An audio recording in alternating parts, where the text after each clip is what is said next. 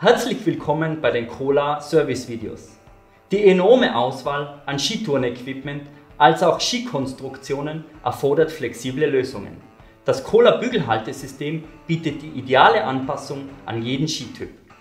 Im Standardlieferumfang haben wir den Tipa 85 oder 110 an der Schaufel und den Cola Krag-Clip am Skiende.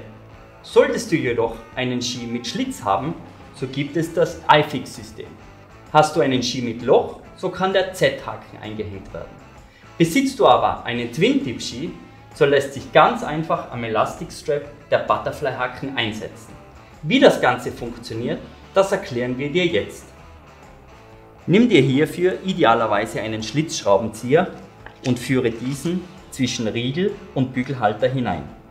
Hebe den Riegel nun ein bisschen auf und schiebe gleichzeitig in Fellrichtung den Riegel hinaus. Schon öffnet sich der Bügelhalter und du kannst den Standardbügel entnehmen. Hast du nun das für dich passende Spitzensystem ausgewählt und eingehängt? So kann der Bügelhalter wieder verschlossen werden. Nehme hierzu den Riegel und drücke ihn fest zusammen und schiebe ihn gleichzeitig in Richtung Spitze zu. Und schon ist das System geschlossen. Um auf ein Twin-Tip-System umzurüsten, muss vorher der standardmäßige K-Clip abgezogen werden. Nun kannst du den Butterfly einfädeln und mittels den vorgefertigten Löchern fixieren. So einfach ist die Individualisierung deiner Cola-Fälle. Wir wünschen dir nun eine unfallfreie Saison und schöne Skitouren.